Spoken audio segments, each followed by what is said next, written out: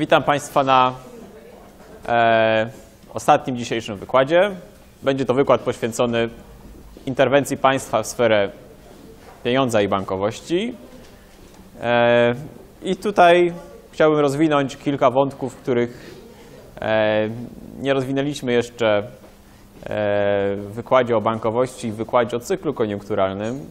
Jakby można powiedzieć, że ten wykład rozpoczyna serię tych wykładów, które już nie należą do podstawowego kursu ekonomii, natomiast z różnych względów wydają nam się ważnymi zagadnieniami ekonomicznymi.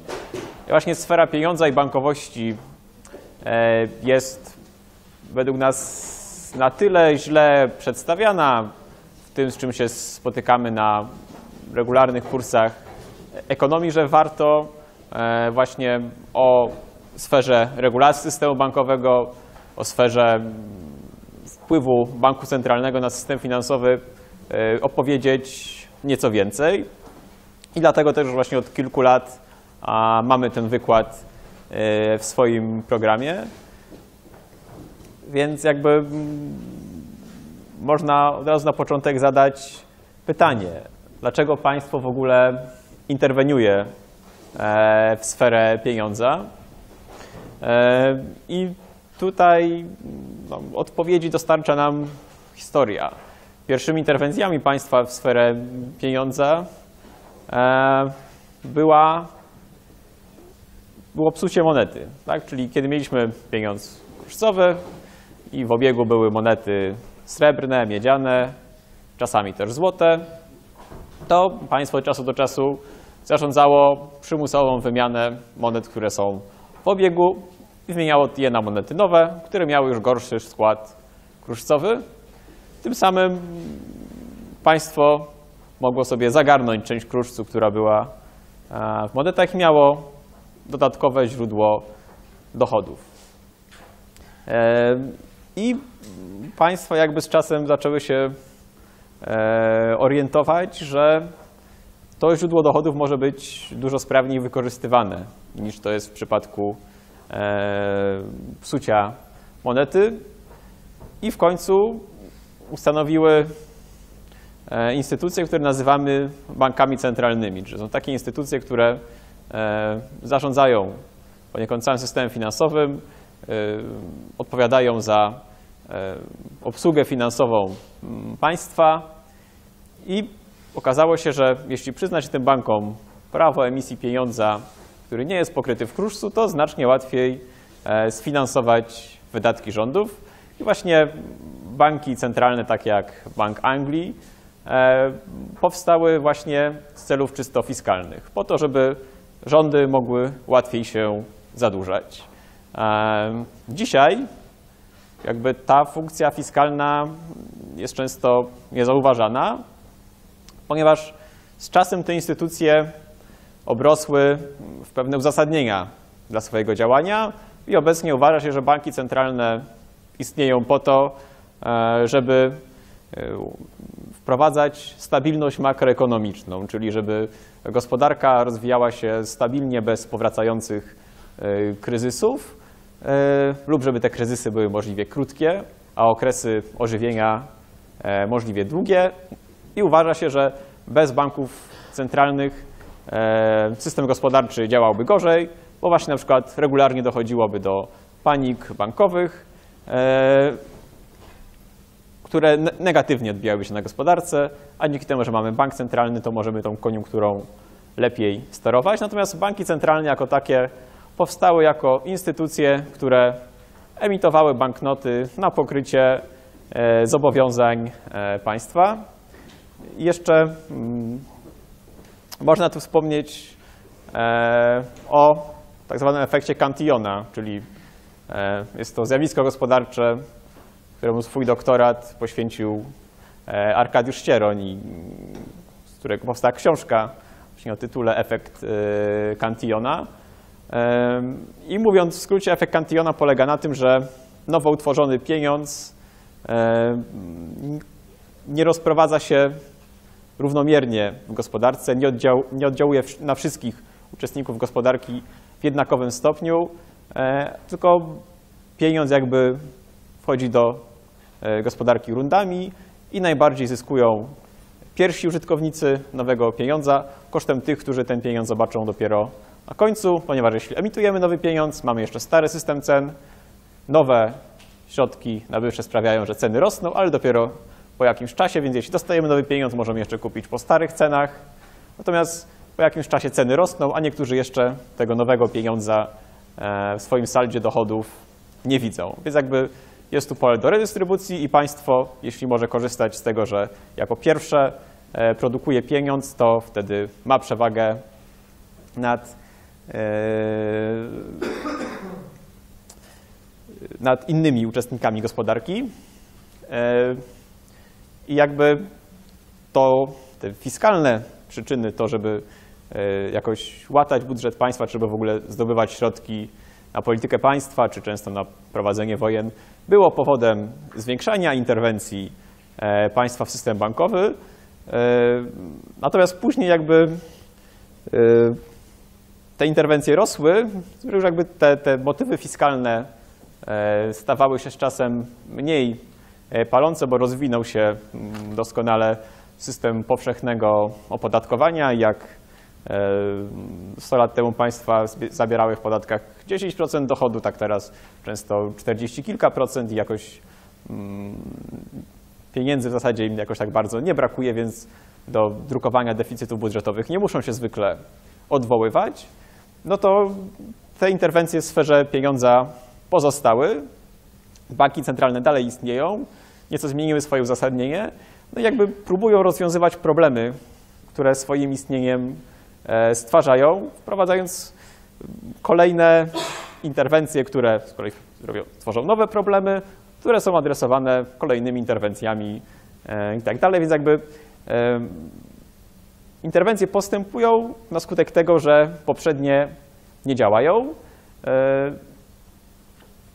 I można to ładnie prześledzić w ogóle na historii E, systemów pieniężnych, jakie mieliśmy e,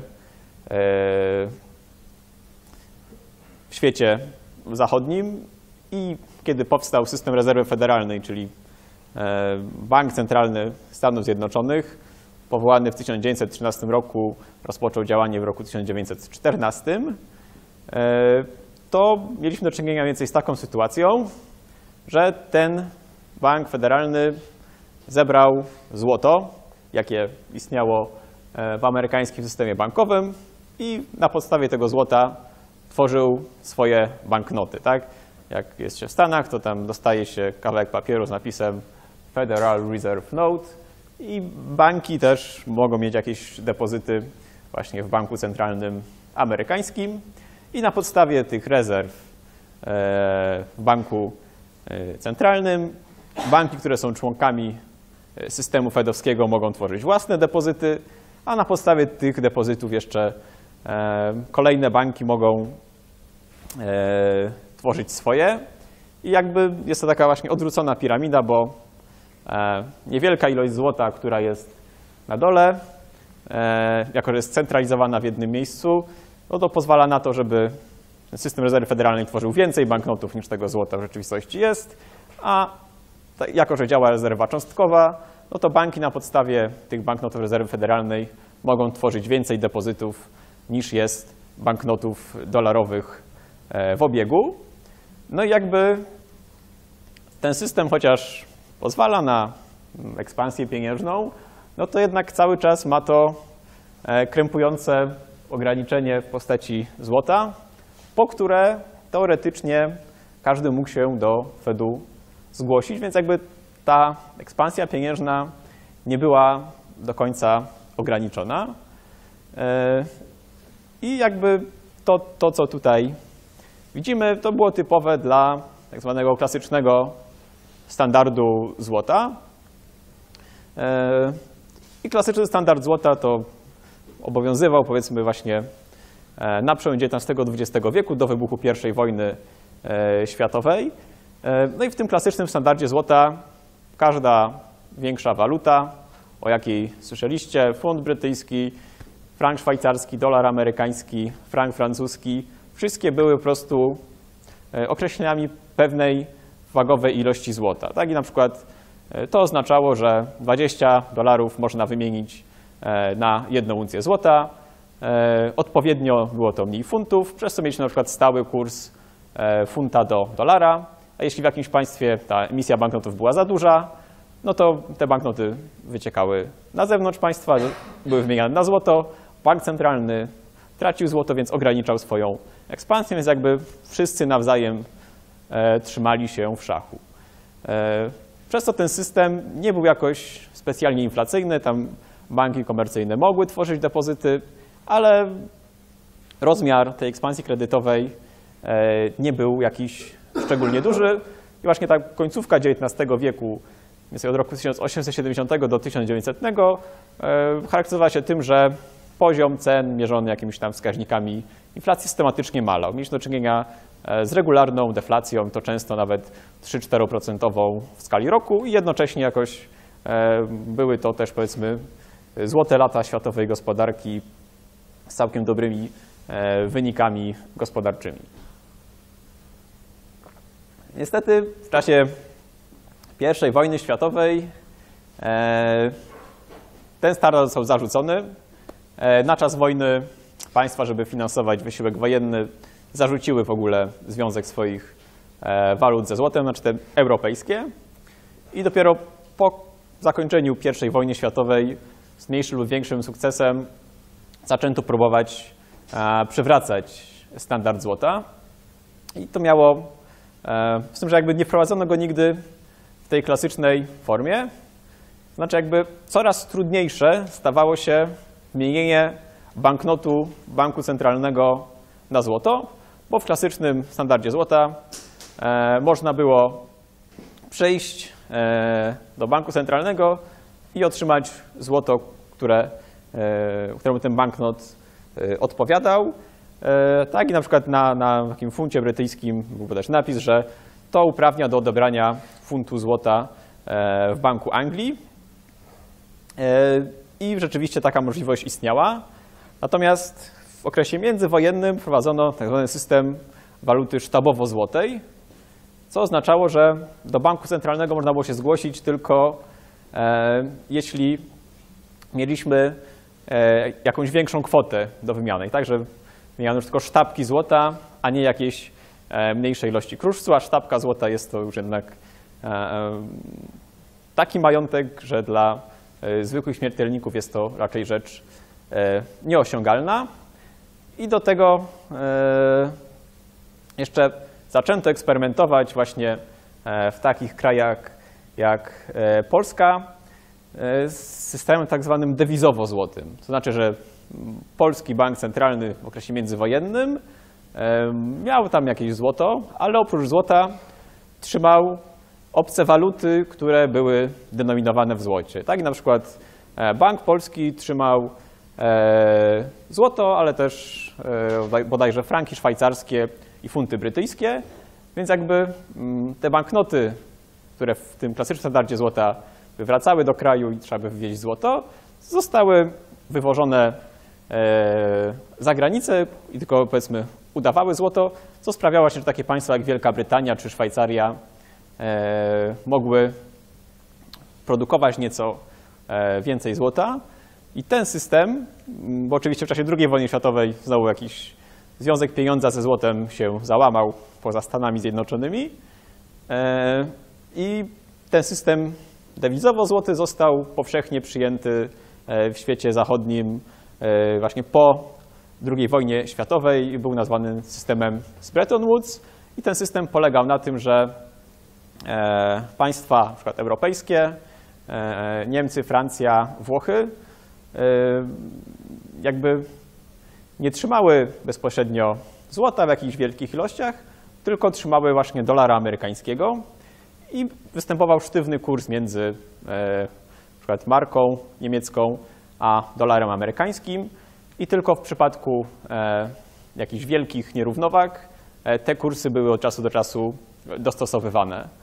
E, Natomiast to sprawiło, że mm, Amerykanie mieli pokusę tego, żeby tych dolarów drukować więcej niż mieli złota, jako że wszyscy te ich dolary przyjmowali jako tak samo dobre, a jednocześnie też w Stanach Zjednoczonych w międzyczasie, w okresie międzywojennym prezydent Roosevelt e, zabronił posiadania złota przez zwykłych prywatnych obywateli, E, więc jakby ten system kontroli nad bankiem centralnym się bardzo rozluźnił. E, Z tym, że ten system z Bretton Woods miał lukę, mianowicie pozwolono bankom centralnym tym e, europejskim wymieniać dolar amerykańskiego na złoto właśnie po e, kursie, został zmieniony za Roosevelta, 35 dolarów za uncję złota. Więc kiedy e, państwa europejskie, takie jak Francja, e, akumulowały te dolarowe rezerwy, to w pewnym momencie się nieco zdenerwowały, że te Stany tyle tych dolarów drukują i zaczęły regularnie wymieniać dolary e, na złoto.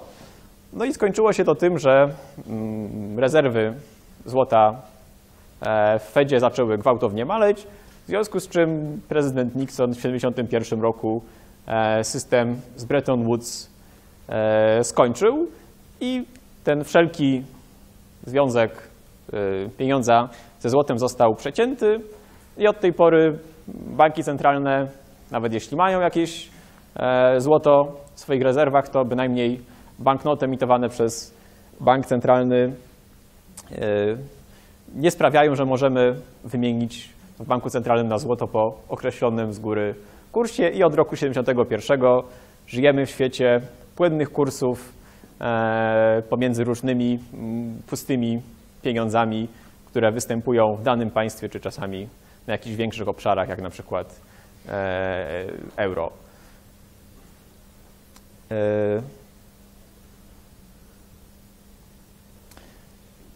I co wiąże się z tym, jaki obecnie mamy e, system pieniężny, tak, że mamy ten pieniądz dekretowy narzucony przez państwo, pieniądz fiat i mamy instytucję e, banku centralnego. Czyli to, że bank centralny istnieje, to sprawia, że powstaje zjawisko, które jakby termin za- zaczerpnięty z branży ubezpieczeniowej, pojawia się pokusa nadużycia. E, Pokusa nadużycia mm, oznacza, że podmiot, który się ubezpieczy, może przez to mm, działać bardziej ryzykownie. Tak? Istnieje mm, takie niebezpieczeństwo, że jeśli ktoś się ubezpieczy, to przestanie być tak uważny, jak byłby, gdyby się nie ubezpieczył. I można pewną analogię wskazać, że e, jeśli mamy bank centralny, który może emitować pieniądz bez jakichś ograniczeń, bo nie jest to powiązane e, z ilością złota, e, jaka istnieje, to ten bank centralny oficjalnie istnieje jako tak zwany pożyczkodawca ostatniej instancji. Tak? Czyli jeśli banki komercyjne mają jakieś kłopoty, jeśli za bardzo rozszerzyły swoją akcję kredytową i mają problemy z wypełnieniem swoich zobowiązań wobec klientów, to zawsze mogą przyjść do banku centralnego i otrzymać pożyczkę niezbędną e, do tego, żeby e, dalej móc działać. Więc jakby przez to, że do systemu bankowego prowadzono taką instytucję, która ma chronić system bankowy, tak, która ma chronić przed krachem, no, sprawiamy, że banki mogą zachowywać się bardziej nieodpowiedzialnie.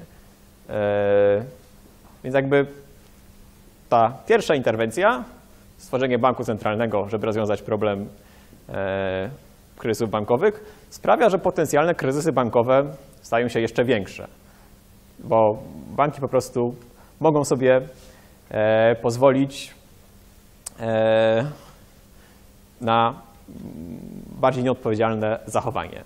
I oczywiście mm, bank centralny w teorii może odmówić e, udzielania pożyczek bankom komercyjnym, z tym, że generalnie się to po prostu nie zdarza i banki centralne dostarczają e, rezerw na zawołanie banków komercyjnych. I nawet w związku z tym powstało e, powiedzmy w środowisku finansowym e, takie pojęcia jak Greenspan Put. Alan Greenspan, wieloletni prezes właśnie Rezerwy Federalnej e, w latach późnych 80., e, wczesnych 90. i w początku XXI wieku, jakby przez swoje działania sprawił, że mm, sektor finansowy wie, że zawsze może liczyć e, na pomoc banku centralnego. Tak? PUT to jest e, opcja e, w systemie finansowym, kontrakt pochodny, jakby i zawsze na rynkach finansowych wiadomo, że jeśli dzieje się źle, to zawsze można skorzystać z tej opcji, że bank centralny coś od nas kupi, czego nie chce kupić nikt inny. I to jakby no, znowu sprawia, że e, chociaż w teorii bank centralny może e, być bardzo dyskryminować między swoimi e, pożyczkodawcami, to w rzeczywistości jego istnienie sprawia, że system finansowy jest bardziej niestabilny i bierze na siebie ryzyko większe niż byłoby to bez istnienia banku centralnego. I właśnie był ostatni kryzys finansowy i prezes Ben Bernanke został zaproszony do wygłoszenia kilku wykładów dla studentów o tym, jak to się walczy z kryzysem, e, to tam stwierdził, że e, banki centralne działają według e, tak zwanego dictum Bagehota. Walter Bagehot był takim dziennikarzem finansowym, żył gdzieś na przełomie XIX-XX wieku jeśli dobrze pamiętam, i on tam stwierdził, że jeśli już bank centralny ma istnieć, no to powinien dostarczać płynności, ale e, po wysokich stopach procentowych i e, w zamian za dobre zabezpieczenia. Także wtedy będzie spełniał dobrze swoją funkcję pożyczkodawcy e, ostatniej instancji. No i Bernanke w tych swoich prezentacjach dla studentów twierdził właśnie, że to tak ma działać, podczas gdy wszystkie banki centralne w czasie kryzysu działają zupełnie odwrotnie. Obniżają stopy procentowe teraz do zera albo i niżej i biorą jako zabezpieczenie pożyczek wszystkie możliwe e, śmieciowe aktywa, więc jakby to nawet co istnieje jakby w podręcznikach bankowości centralnej, co uznaje się za powszechnie przyjętą wiedzę, rzadko ma związek z tym, jak banki centralne rzeczywiście działają. E, innym takim sposobem interwencji państwa w system bankowy są ubezpieczenia depozytów. E, I jakby one wzięły się z tego, że i w systemie bez banku centralnego e, i w początkowym mm, okresie istnienia systemu rezerwy federalnej e, czymś powszechnym były paniki bankowe. Zdarzało się regularnie co kilka lat, że ludzie dokonywali ranu na banki, kiedy sytuacja gospodarcza się pogarszała, była utrata zaufania, i wyciągali złoto z banków, banki bankrutowały i w czasie wielkiego kryzysu e, przybrało to spore rozmiary, bo zbankrutowało około 10 tysięcy e, banków. E, w związku z tym w 1933 roku powołano FDIC, czyli Federalną mm, Korporację od Ubezpieczeń depozytów. E, i FDIC e, jakby zbiera e, opłaty od banków na rzecz tego, żeby mieć fundusz, z którego może pomagać tym bankom, które są w tarapatach i jakby gwarantować to, że w razie konieczności klienci dostaną z powrotem swoje E, pieniądze zgromadzone w depozytach. Tak w Polsce działa analogiczna instytucja, Bankowy Fundusz Gwarancyjny. E, no z tym, że właśnie ten FDIC mm, posiada rezerwy, które pozwalają mm, ledwie na wypłacenie nieco ponad 1% tych ubezpieczonych depozytów, więc e, przy jakimś większym kryzysie tych środków po prostu łatwo zabraknie, ale jest to zwykle element skuteczny, ponieważ po 1933 roku E, jak ręką odjął w zasadzie bankructwa banków w Stanach Zjednoczonych, wywołane takie właśnie panikami się skończyły, chociaż były e, było kilka szczególnych przypadków. Równolegle do systemu bankowego w Stanach rozwinął się też sektor towarzystw oszczędnościowo-pożyczkowych, saving and loans i on wpadł w tarapaty w latach 80. No i wtedy właśnie bliźniacza do FDIC instytucja ubezpieczająca nie była w stanie obsłużyć wszystkich deponentów, a te saving and loans, czyli te, te, te kasy oszczędnościowo-pożyczkowe po prostu przyciągnęły dużo pieniędzy klientów, bo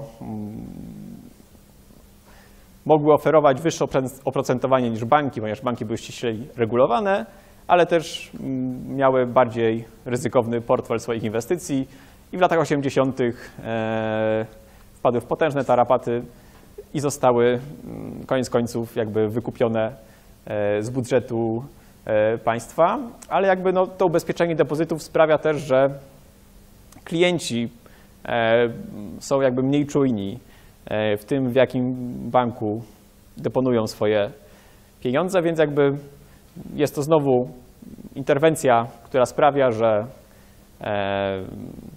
mamy niby rozwiązać problem panik bankowych, ale jednocześnie sprawiamy, że banki tracą jakby kogoś, kto sprawi nad nimi skuteczny nadzór, czyli klientów, tak? bo klienci przy państwowych ubezpieczeniach są zwykle obojętni względem tego, w którym banku, który, z których każdy jest w, w Bankowym Funduszu Gwarancyjnym, w którym złożą swoje pieniądze, przez co jakby presja na to, żeby banki prowadziły bardziej odpowiedzialną politykę ze strony klientów jest znacznie mniejsza. Natomiast w ostatnim kryzysie finansowym zdarzyło się, że kilka banków, pomimo pomocy FDIC, i tak na te banki zostały dokonane rany i tak upadły. Więc nawet te ubezpieczenia depozytów nie są stuprocentowo skuteczne. Więc, jako że dalej do końca problemy nie zostały rozwiązane, przez to, że pojawił się pożyczkodawca ostatniej instancji, banki zaczęły inwestować środki bardziej ryzykownie, a dalej zdarzały się przypadki kryzysów, pomimo tego, że jakby już tych kranów na banki generalnie nie ma, więc państwa postanowiły pójść krok dalej i zaczęły wtrącać się w to, jak banki zarządzają ryzykiem. Tak, bo banki są zwykle spółkami akcyjnymi, więc odpowiadają do wysokości swoich kapitałów.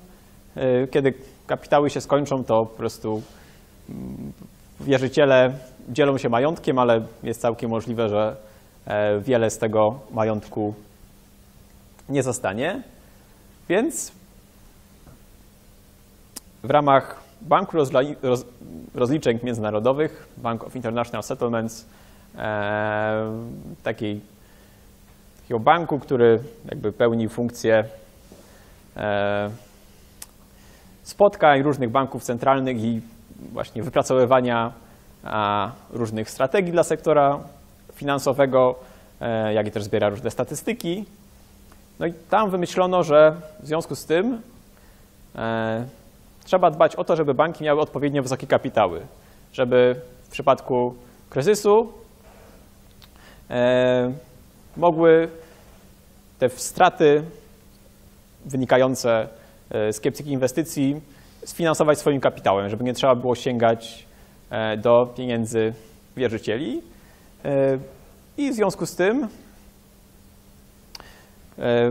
dla różnych klas aktywów banków przypisano różne klasy ryzyka, tak? bo banki w swoich księgach mają gotówkę, mają obligacje rządowe, mają kredyty hipoteczne, mają kredyty dla przedsiębiorstw, mają kredyty dla gospodarstw domowych, nie wiem, na auta, mają kredyty na kartach kredytowych i tak dalej, i tak dalej. I wszystkim tym różnym klasom aktywów przypisano różne wagi ryzyka. No i generalnie gotówka czy obligacje skarbowe e, są uważane za takie, które nie mają ryzyka, a kredyty dla przedsiębiorców czy kredyty e, konsumpcyjne są uważane za te najbardziej ryzykowne. Kredyty hipoteczne gdzieś tam są e, pośrodku. I odpowiednio względem wielkości aktywów banki muszą trzymać odpowiednio dużo kapitału, więc mnoży się te aktywa przez wagi ryzyka, wychodzi jaka jest suma aktywów ważonych ryzykiem i odpowiednio na przykład 10% trzeba trzymać e, kapitału. Natomiast e, okazało się, że e, pomimo tego, że tak precyzyjnie określono te wagi ryzyka i nakazano bankom trzymać kapitał, to banki potrafiły te e, regulacje obejść, wprowadzając różne innowacje finansowe, o których zaraz opowiemy. Tak? I generalnie okazało się, że tak Bank Rozrachunków Międzynarodowych i e, nadzory finansowe na całym świecie tak zbudowały taką wspaniałą linię marginota przed kolejnym kryzysem, a ten kryzys oczywiście e, przyszedł z nieco innej strony, tam gdzie akurat regulacji nie było. E, I na czym te regulacje polegały? Mianowicie e, zauważono, że jeśli ktoś ma w swoich aktywach kredyt hipoteczny, no to jest do tego waga ryzyka na przykład 0,5. Ale jeśli ktoś ma w swoim portfelu papier wartościowy zabezpieczony kredytem hipotecznym, który ma wysoki rating inwestycyjny, no to jako, że jest wysoki rating inwestycyjny e, i jest to papier wartościowy, który zbiera pulę różnych kredytów, a nie jakiegoś, jakiegoś jednego konkretnego, no to ma niższą wagę ryzyka, na przykład 0,2. W związku z czym banki zaczęły sprzedawać kredyty hipoteczne do instytucji pośredniczących, które pakowały je całe produkty finansowe, czyli obligacje zabezpieczone tymi kredytami. Tak i po prostu jak ktoś kupi taką obligację, to otrzymywał przepływy pieniężne z tych kredytów hipotecznych. A więc banki sprzedały kredyty hipoteczne i kupiły te same kredyty hipoteczne jako papiery wartościowe, no ponieważ to obniżało tę sumę aktywów ważonych ryzykiem, bo te, te, te sekutyry, sekutyryzowane papiery wartościowe, czyli właśnie zabezpieczone e, na hipotekach, były uważane za bardziej bezpieczne niż same e, hipoteki. E, I jakby samo to, że istnieją papiery wartościowe oparte na hipotekach, nie musi być niczym złym. Tak? Takie innowacje finansowe nie to, że nie są złe, nawet możliwe, że na rynku wolnym by istniały i E, sprawiałyby, że jakieś nowe sposoby pośrednictwa finansowego by zaistniały i ktoś, kto wcześniej nie oszczędzał, uznałby, że jest to inwestycja akurat dla niego i byłoby dostępne więcej e, kapitału.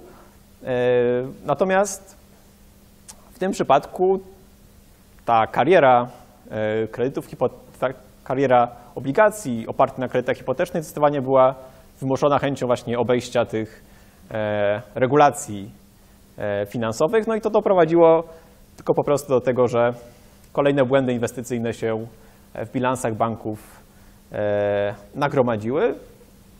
Tak, no i tu mm, możemy właśnie taki przykładowy, prosty bilans banku zobaczyć, jakie są jego aktywa ważone ryzykiem. Tak, i ten bank ma tylko gotówkę i kredyty hipoteczne. Gotówka ma zerową wagę ryzyka, więc jakby nie liczy się. E, kredyty hipoteczne mają 0,5, czyli w tym przypadku przy 100 tysiącach dolarów gotówki, 900 tysiącach dolarów kredytów hipotecznych, aktywa ważone ryzykiem to 450 tysięcy dolarów, kapitał własny to 20 tysięcy dolarów, więc ten nasz współczynnik kapitałowy wychodzi e, ledwie 4,5%, więc jest za niski, ale właśnie jeśli zamienimy kredyty hipoteczne na obligacje hipoteczne, no to okazuje się, że przy tej wadze ryzyka 0,2 e, aktywa ważone ryzykiem są mniejsze, tak? 450 tysięcy dolarów spadły do 180 tysięcy dolarów, e, przez co współczynnik kapitałowy nagle wynosi 11%. Tak, chociaż generalnie cały czas ta, ta pula kredytów hipotecznych w gospodarce się nie zmieniła, ale przez to e, spełnione są wymogi regulacji e, kapitałowych. E, no jakby ten wykres pokazuje karierę e, tych kredytów hipotecznych. I widzimy, że one jakby zdecydowanie przyspieszyły właśnie po wprowadzeniu tych regulacji na początku XXI wieku, stały się masowe, w związku z czym tak one stanowiły już spory procent aktywów e, bankowych. Że widzimy, że, że banki po prostu odpowiedziały jedną interwencją e, na drugie i skończyło się to tak z tym kryzysem subprime e, i kryzysem finansowym 2008 roku w Stanach Zjednoczonych. I jakby to, że on właśnie miał swoje źródło przecenie tych obligacji opartych na kredytach hipotecznych, no to właśnie wiąże się z tym, że takie nie inne regulacje e, wprowadzono e, nieco wcześniej, więc teraz oczywiście są wprowadzane nowe, lepsze regulacje kapitałowe, Bazela 3, 3,5, e, czy kolejne, które mają te oczywiście luki ograniczać. I jakby jest znowu liczenie na to, że tym razem uda się to tak wyregulować, żeby źródła kryzysów bankowych zostały zlikwidowane. No, powiedziałbym, że jest też ostatnio jedna sfera regulacji bankowych, która wydaje się nieco ciekawsza, myślę, z naszego punktu widzenia. Tak, bo kryzys finansowy sprawił, że sporo instytucji finansowych by się nie utrzymało na rynku i wtedy zostały wykupione przez państwa i dokapitalizowane, tak, i ten proces z angielskiego nazywa się bail-in, przepraszam, bail-out, tak, że zostały wykupione. Natomiast no, w Unii Europejskiej postanowiono, że tak być nie powinno i generalnie w przyszłości to wierzyciele banków powinni e, odpowiadać za straty, które bankom się przydarzą oczywiście po akcjonariuszach. E, w związku z czym e, wprowadzono dyrektywę o uporządkowanej likwidacji banków i ta dyrektywa, w zasadzie można powiedzieć, że doprecyzowała prawa własności co do różnych klas aktywów, bo jeśli bank zbiera pieniądze mm, od ludności, to może to robić na różne sposoby. Może emitować obligacje, które są nijak niezabezpieczone, może emitować obligacje, które są zabezpieczone konkretnymi kredytami, może emitować listy zastawne, czyli takie specyficzne instrumenty związane z rynkiem hipotecznym, e, może brać po prostu od ludzi lokaty bankowe, czy może brać od ludzi depozyty na żądanie. No jakby ta dyrektywa ustawia te, te, te, te różne sposoby finansowania w jakiejś kolejności i mówi, że jeśli będzie kryzys, to dojdzie do e, zamiany długu na akcje do tego momentu, aż bank będzie mógł e, e, się na rynku utrzymać, tak? czyli jakby powiedzmy jakieś nie, niezabezpieczone obligacje są uznawane za najbardziej ryzykowne, tak? można na nich najwięcej zarobić, dają najwyższe e, zwroty, ale też w przypadku, jeśli bank e, wpadnie w tarapaty, no to jako pierwsze zostaną skonwertowane na akcje, tak? czyli osoby, które pożyczyły pieniądze bankowi, staną się jego współwłaścicielami. Więc taka, taka powiedzmy przyspieszona procedura bankructwa.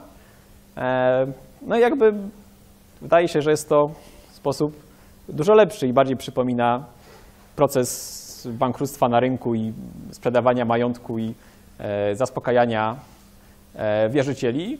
No z tym, że on niestety nie jest konsekwentnie wprowadzony nawet w samej Unii Europejskiej i właśnie mm, ostatnio we Włoszech e, dwa banki zostały ponownie po prostu e, wykupione przez rząd metodą bailoutu, a nie zastosowano tego bail-in. Natomiast wydaje się, że gdyby te regulacje konsekwentnie wprowadzić, no to jakby traci się racjonalizację dla tego całego wcześniejszego systemu interwencji, bo skoro już bankructwo banków nie sprawia jakiegoś systemowego ryzyka dla funkcjonowania systemu płatniczego, bo mamy taką fajną, przyspieszoną procedurę bankructwa, no to nie potrzebujemy chyba pożyczkodawcy ostatniej instancji, nie potrzebujemy e, regulacji kapitałowych, czy nie potrzebujemy ubezpieczeń e, depozytów. Więc jakby mm, gdyby to dobrze przemyśleć, to wydaje mi się, że jest to świetny powód, żeby tych wszystkich trzech pozostałych interwencji się pozbyć. No natomiast jakby mm, jest to raczej rzecz chwilowo nieosiągalna, natomiast jakby o dziwo właśnie coś takiego wprowadzono, co dużo bardziej przypomina e, rozwiązanie rynkowe problemu e, niż kolejną interwencję. E, oprócz tego pojawiają się różne pomysły ulepszenia banku centralnego, tak żeby przestał być właśnie taką instytucją, która wprowadza często więcej chaosu niż porządku do systemu finansowego. E, I raczej, e, żeby działał według bardzo przewidywalnych, stabilnych reguł, żeby nie mógł wybierać, ten bank uratuje, tego nie, temu udzielę pożyczki, tego nie, tylko żeby istniały jakby ścisłe reguły mm, postępowania e, banku. Jakby pierwszą podstawową zasadą, która jest teraz, że tak powiem, powszechnie przyjęta w krajach zachodnich, jest to, że bank centralny ma być niezależny. Tak? To znaczy, że jak się powołuje prezesa Banku Centralnego i członków Rady Polityki Pieniężnej, to w zasadzie nie można ich odwołać przez kolejnych kilka lat, że nie ma żadnego nadzoru władzy wykonawczej e, nad nimi i ma to sprawiać, że e, ten bank będzie miał czas tam do porządnego namysłu, żeby dbać o to, co będzie najlepsze dla gospodarki, a nie mm, podejmować działania, które e, może jakieś krótkookresowo by pomogły, ale długookresowo by szkodziły rozwojowi gospodarczemu. Natomiast no, trzeba pamiętać, że jest to niestety też instytucja rządowa, jest to niezależność w ramach rządu, natomiast jakby trudno spodziewać się, żeby ta instytucja e, działała na przekór e, państwu jako takiemu i widzieliśmy wielokrotnie właśnie w ostatnim kryzysie, że te banki centralne mm, robiły rzeczy, które nie miały uzasadnienia w podręcznikach e, do bankowości centralnej, tak? Nie stosowały tego dictum Bagehota, tylko dokonywały bardzo selektywnych interwencji, masowo skupowały śmieciowe aktywa itd., tak itd. Tak więc jakby e, czy to w przypadku amerykańskim, czy europejskim było widać, że ta niezależność, chociaż wszędzie wpisana w prawie, w praktyce e, rzadko jest skuteczna.